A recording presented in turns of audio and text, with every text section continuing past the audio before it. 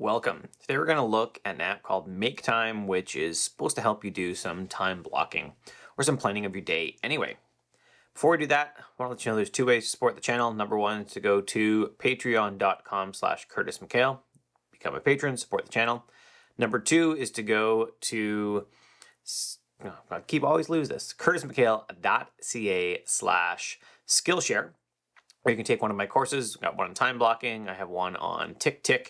You want to go straight to the time blocking one, you go to curtismchale.ca slash skill time. One word. I don't know why I put up two. One word. Now let's dive into make time. Now the focus of make time is a single task in the day that they call your highlight. So let's say it was, oh, I don't know, waxing skis. It's one of the tasks I had to do over the holidays. Done. And now I can put it in my day. So I can drag it and it actually has my um, my calendar in there. Right? You see I have to read, I have something else that's not showing me the time of. My wife has to put uh, bidding items out, she says, um, although she'll be skiing. Oh, before she goes skiing. So I can put this in wherever. Let's say I was going to wax skis during treadmill time. And now I can hit high, set highlight. And with my highlight set, I'm guess ready. Now this does not sync over to my regular calendar. Something else I can do here is I can look at the tactics. So this actually kind of comes with the tactics of their book. So it tells me like, what is a highlight? And I could read through all of this. All right, you can see read more on page 27 of Make Time there at the bottom, which is the book. All right, I can write it down, schedule the highlight, batch the little stuff, and then there's even more tactics I want to go through the book. So in many ways, this feels like a uh, highlight for the book, like, hey, you should really do this. Check out our book. So now when we're ready to focus on a task, we can go over to what's called laser. And this is when I could set a timer, right? This is presented by Time Timer. Uh, it has my laser tactics again. So what's laser mode, distraction free phone, log out, ignore the news, right? So and then I start the timer and now I have a timer that it's going to tell me to laser focus on this. Now this is actually intended to sit in front of you on your desk to like be a reminder um, to stay lasered on your work at hand. We'll get back to that.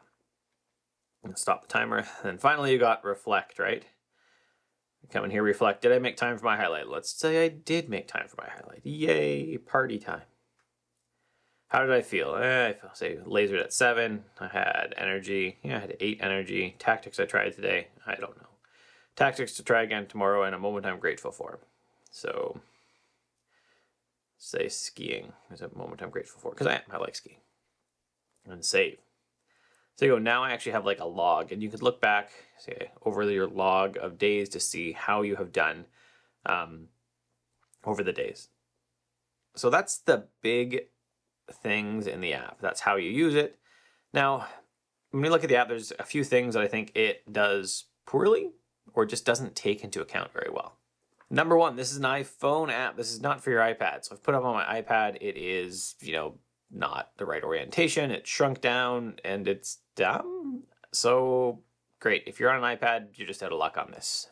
Now, one of the other things, like one of the big things that come in here um, by checking your phone is that one of the things that I continually come back to in time blocking and almost any other productivity thing is to put your phone away. Don't even have it in your office. Have it like turned off, muted away. And so mine is usually, you know, far over my shoulder here, muted on a charging pad, not being used.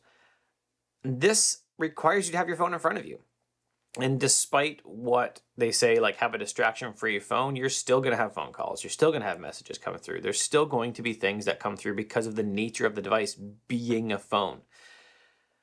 I just don't see how you achieve that then, right? I can see if it's on your iPad, yes, I can have a distraction free iPad because it's not getting phone calls, it's not getting some of these other things. That is the purpose of the device. But Make Time is only on your iPhone, so you just have to, or on your phone, right? It's on, I believe it has an Android app as well. It's only available there. So then that's it. You just have to deal with the notifications or turn them off. So we like make the device not function as it should. So ultimately, am I going to recommend Make Time? No, I'm not going to recommend Make Time. I just don't think that the functionality you get uh, in the phone version is worthwhile. You're going to have to have your phone around you, like visible on your desk regularly to be able to use it, and that it seems like counterintuitive to anything. So what do I recommend instead for time blocking? Number one, I have a digital time blocking video, which will be linked up above and in the description below. Number two, I have an analog time blocking video. That is what I've done for years.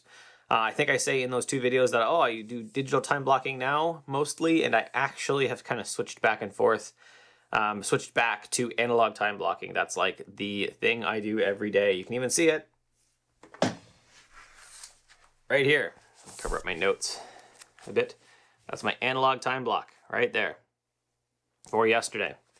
I did a day, and then if I switch back, you can see like I laid out my week too first.